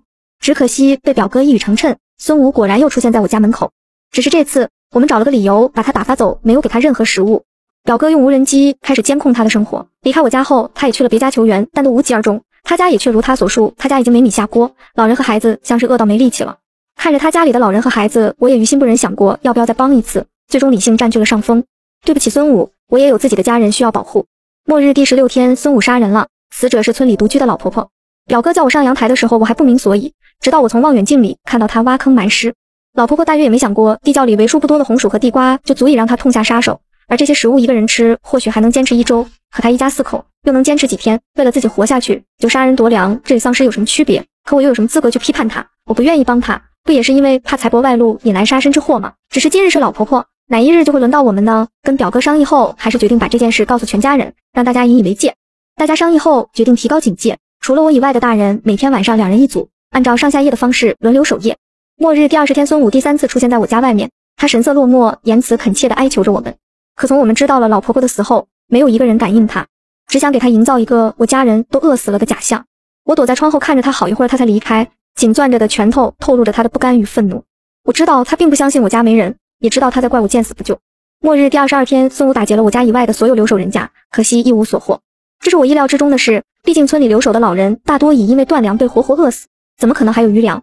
只是看他气急败坏的样子，不免为自己而担忧。可即便是没有生存物资，他也不敢离开村子冒险。末日第二十五天下午的时候，公公在屋后发现孙武的身影，这是孙武第四次出现在我家附近。不同以往的是，他这次不再恳求，悄无声息的在我家周围转悠打探，可以从哪里闯进我家。真庆幸有家人的存在，才可以早早发现他。表哥将两台无人机飞到池塘边的大树上。用树叶做隐藏，轮流监控他的一举一动。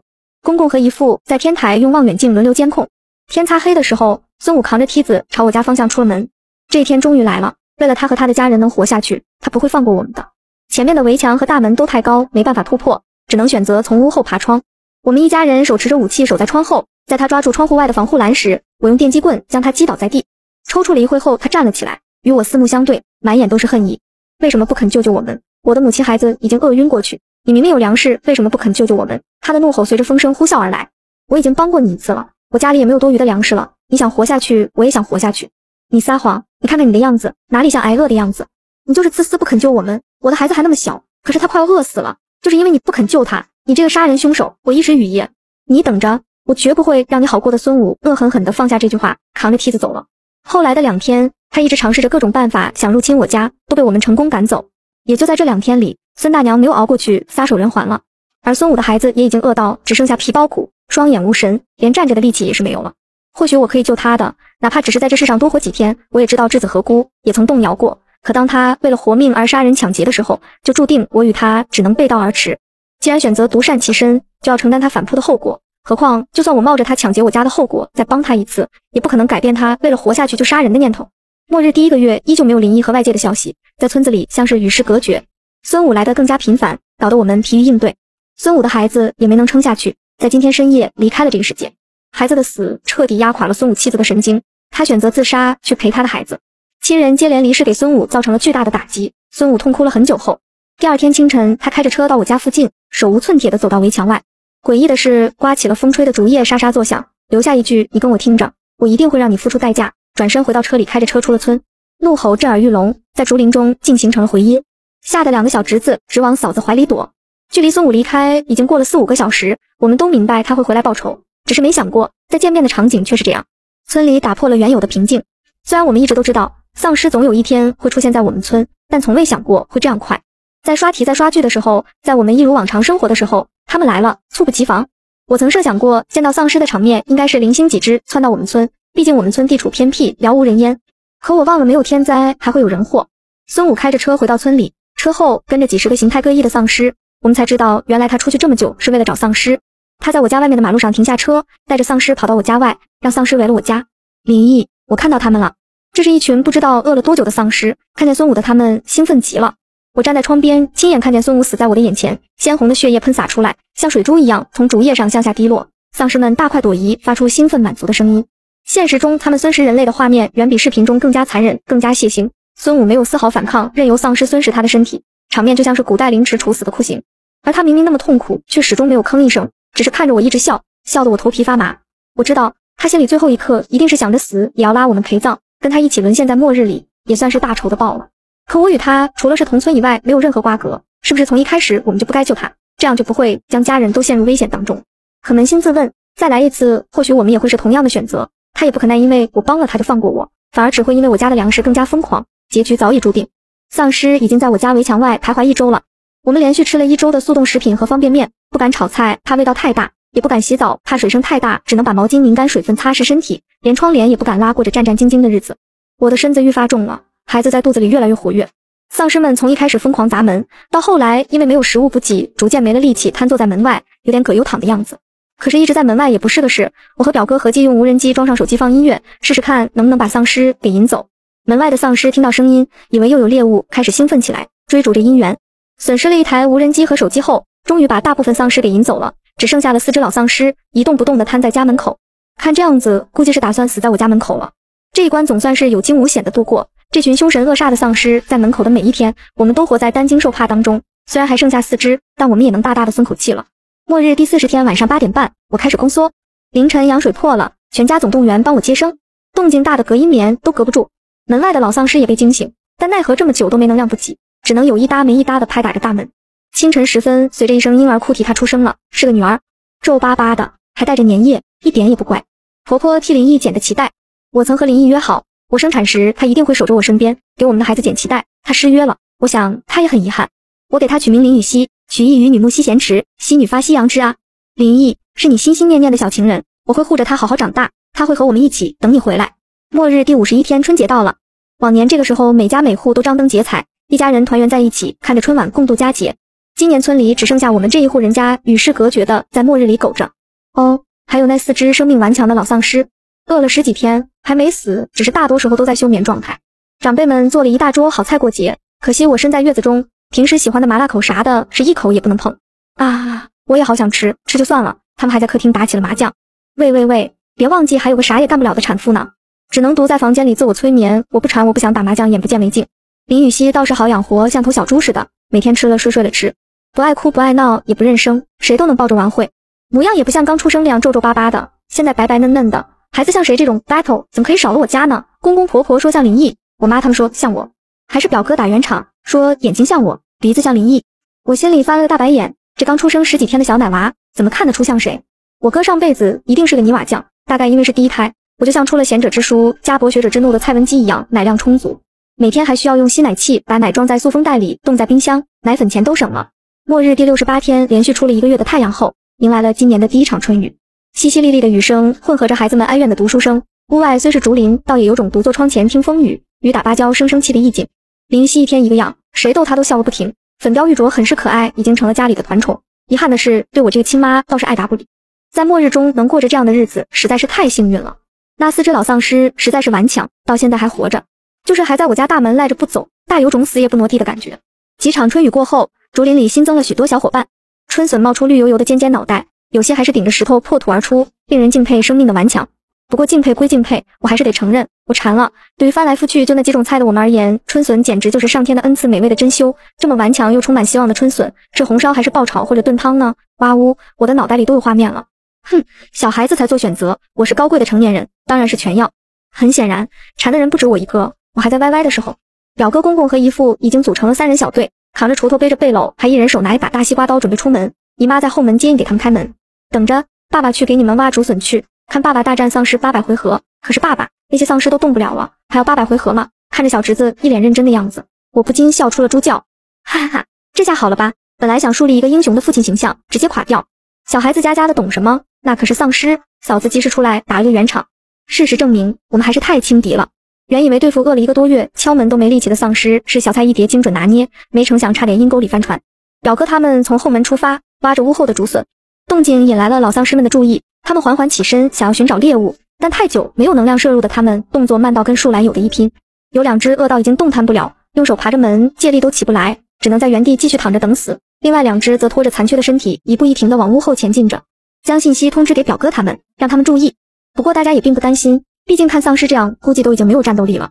谁也没想到，没看见猎物慢吞吞的丧尸，看到表哥他们的时候，有一只居然爆发出了正常人的速度，朝着表哥就跑了过去，在竹林追着表哥跑。表哥带着丧尸在竹林绕圈，给姨父他们争取时间。我们在屋内担惊受怕。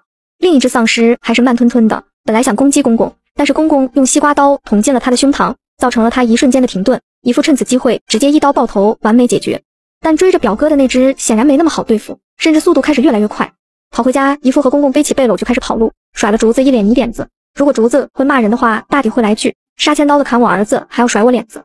公公和姨父在最前面跑着，紧随着的是表哥和距离不远的丧尸。三人神色紧张，好不容易出现的猎物要跑掉，丧尸更加愤怒，跑得也越来越快，场面既惊险又滑稽。公公和姨父率先进门，表哥进门的时候，丧尸已经抓到他的衣角，只能卡着衣服关了门，剩下丧尸在门外疯狂的扯着，大有种要把表哥不把表哥扯出去不罢休的感觉。表哥用西瓜刀把衣服割断，总算是摆脱了。好在只是抓住了衣角，要是被抓伤了就完了。好在平安回到家了，嫂子抱着表哥就开始大哭起来，表哥一直安抚着他。春笋在角落安静待着，无人问津。门外的丧尸生气极了，疯狂的砸门，持续了整整一天一夜，吓得林雨熙哭个不停，一直都睡不安稳。我也因此挂着两个大大的熊猫眼。丧尸终于因为能量耗尽而消停，这也是第一只自然死亡的丧尸，大概是为了追逐猎物，爆发了身体里所有的能量储备。经此一事后，我们也再不敢出门去挑战那两只动弹不了的老丧尸。正是因为轻敌，我们差点就失去了至亲。劫后余生，自然要更加惜命才行。末日半年已经连续三个月没有下过一场雨，天气愈发炎热。端午前，室外已经四十六度，线下已经五十二度了。天台的蔬果全被搬回了楼道口，屋外的竹林不复往日的绿色，竹叶变得干瘪枯黄。高温并没有令我的太阳能电板发出更多的电，反而造成了一次电路故障。好在之前保存了基础的维修视频，表哥鼓捣了几个小时后修复好了。短短半年时间，我们经历了丧尸围城，经历了难以想象的雪灾，现在又经历高温干旱，灾难电影都不敢这么拍。在烈日的暴晒下，今天门外的两只老丧尸终于死了。这生命力比小强还要小强，他们死了，对我们而言简直是不幸中的万幸。河床的水位一降再降，家里的水井抽出来的水过滤后仍旧有着细沙，囤着的桶装水承担了日常饮用部分，水井的水用来洗漱。太阳能发电有限，每天只有二十来度，保持了冰箱用电后最多三个房间可以开空调。最后，小孩和妹妹他们跟我一个房间，表哥他们一个房间睡地铺，免得出现电压过高。每天姨妈都会煮一锅绿豆水，或者泡一壶夏桑菊给大家解暑。末日第八个月，干旱后的第五个月，附近的山头起了山火，烧了几天几夜，都等到大雨，却等到了地震。外面的竹子摇摇晃晃，屋内的灯光开始闪烁，桌上的水杯打翻在地，浸湿了书本，麻将摇得满地都是。作为一个经常经历地震的 S 省人来说，已经略有经验，大家都靠墙角安静躲着。倒是尚在襁褓的林夕，在我怀里哇哇大哭。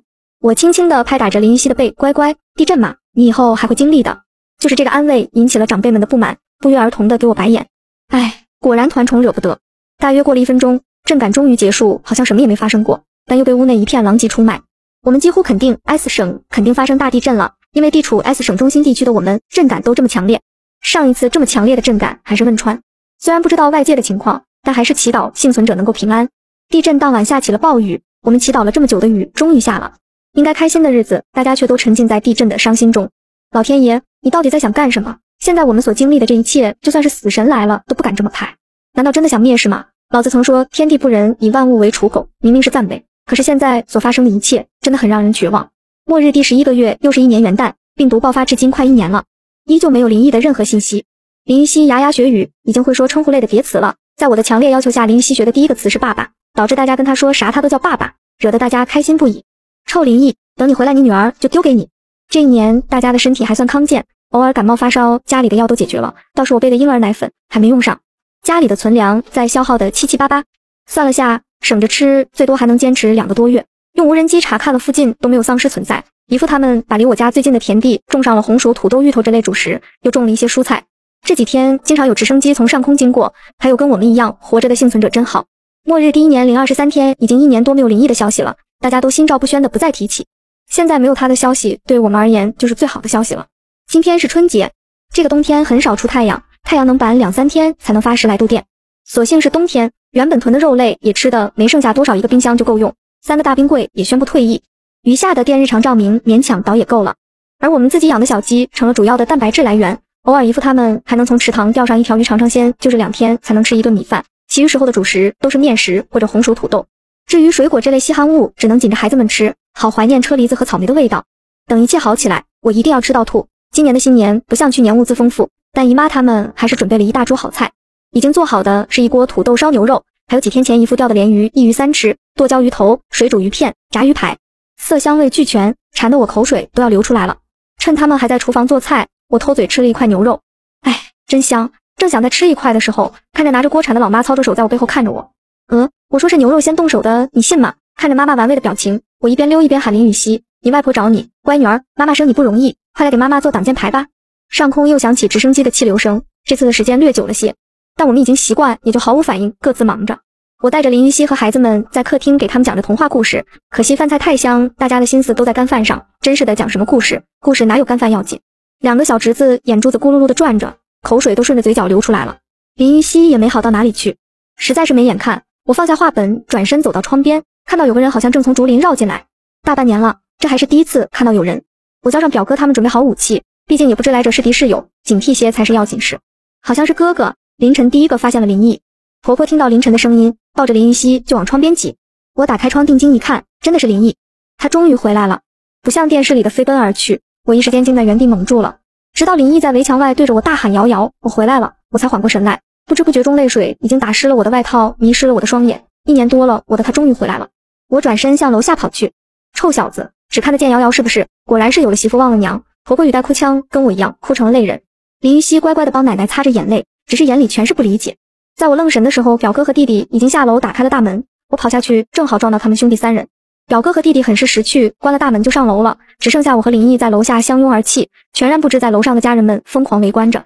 我想我大抵是高兴傻了，竹叶沙沙作响的声音和饭菜香气都无法影响到我与林毅执手相看，内眼竟无语凝噎，仿佛此刻天地间就只有我二人，再无其他。嗨嗨，你们两个够了没？还不上楼吃饭？直到我妈看不下去出了声，我们俩才如梦初醒，牵着手上楼。上楼后，长辈们围着林毅，对他嘘寒问暖，话着家常。毅儿，这是你的女儿雨熙，快叫爸爸。婆婆抱着林依稀给他介绍着。林依稀好奇地看着这个陌生又觉得亲切的男人，血缘带来了天生的亲切感。雨熙，我是爸爸。林毅语气颤抖着朝着雨熙伸出双手，林依稀乖乖让他抱着，什么话也没说，却轻轻地擦着林毅眼角的泪痕。这一幕看得大家都哭了起来。乖乖，不哭不哭。林依稀奶声奶气地哄着我们，开饭吧。饭菜好香。林毅笑着说，今年的年夜饭总算是团团圆圆。从林毅的口中得知，这次丧尸病毒是漂亮国做生化实验引起的，国外损失比我们更加惨重。现在科研团队已经研究出对应的疫苗，病毒将不再具有传染性。可惜无论怎么实验，也无法拯救感染者，他们再也回不来了。这三天，国家会给幸存者接种疫苗。三天后，国家将进行丧尸清扫计划。等清扫结束，我们就可以恢复正常生活了。病毒爆发后，政府在各大城市组织幸存者救援。现在国内有两个生存基地，分别在华北、西南。直升机经过我家，就是因为西南的生存基地离我们不过百来公里。想我泱泱大国十几亿人口，现在也只剩下了几千万人。疫苗真的有效吗？怎么做实验的呢？我好奇地看着林毅党员和军人优先挑选志愿者进行活体实验。有些人没有熬过去，牺牲了。林毅眼里尽是哀伤。末日里，还是他们这群人在保护着我们。谢谢你们一直保护着我们。大家也都自觉为牺牲的人而默哀。那之前你有从家里经过吗？我岔开话题。经过了两次，林毅沉吟道：“什么时候？第一次是丧尸爆发前夕，第二次是直播救援那次。好你个林毅，古有大禹治水三过家门而不入，今有你林毅两过家门而不归。你毫无音讯一年多，难道就不知道我们全家人都在担心吗？对不起，可我任务在身。”林毅看着我生气的眼神，落寞且羞愧的低下了头，小声的回应着我。我顿时就像泄了气的皮球似的，我怎么可以怪他呢？他是军人，他那么勇敢的保护着我们，我还责怪他不回家。哎，我真是太不该了。气氛被我搞得有点尴尬。林依稀看着他难过的表情，主动的抱着他。爸爸林依稀声细如蚊的叫着他，这是林依稀第一次跟他说话。林毅一抬头就看见孩子清澈温暖的眼神，是爸爸对不起你和妈妈，紧紧的把林依稀抱在怀里。是我不好，我不该怪你。我也顺势抱着他们父女俩。夜里林一抱着我，我抱着女儿，一家三口相拥而眠。这是末日以来第一次觉得这么安心。两天后，直升机接走了林毅，只是这次我们都不再担心他，因为我们都知道他要去拯救世界。末日第一年零一个月又五天，经过长达十二天的清扫。还活着的丧尸都被焚烧殆尽。从今天起，丧尸再也不能对人类产生威胁。在国家的安排下，身着军装的他们分布在各个城市，带领着人民群众开展灾后重建。一切都在慢慢变好。末日第一年零三个月，一线城市全面通水通电，信号基站也被修复成功。首批幸存者回归城市，开始正常生活。各国领导人开启全球直播会晤，揭露了漂亮国的阴谋。漂亮国公信力降落谷底，退出领导圈子。漂亮国的头号小弟，小日子过得不错的二国幸存者仅剩下几千人，令人唏嘘，又有点大快人心。末日第一年零五个月，我们一家也回到了城市生活，只是过往好友大多都在这场灾难中丧生。林于熙对一切都好奇极了，天天拉着外婆奶奶出门。末日第一年零七个月，国家对这次做出灾难中的做出贡献的人进行表彰嘉奖。林毅因带队有功，多次成功执行救援任务，被评为了一等功臣。我们家光荣的挂上了一等功臣之家的牌匾，激动光荣之后更心疼他了。这是他九死一生换回的荣耀。我们也第一次知道已经逝世的英雄们的名字。全国降半旗七天，举国哀悼。末日第一年零五个月又四天，人们逐渐从灾难中走出来，各地欣欣向荣。林毅也回来了，和姨妈一家约好一起带着孩子在公园玩耍。公园里的花开得十分艳丽，还有蝴蝶翩翩起舞，林依稀在林一怀里，手指着蝴蝶，跟他爸爸分享着所见所闻。小侄子们和妹妹在追逐打闹，长辈们嗑着瓜子聊着天，小情侣们在花田赏花拍照，还有在亭子里下象棋和在湖边垂钓的老人，大家脸色都挂着幸福的笑容。林毅，这就是我梦想中的生活，岁月静好，安暖相伴。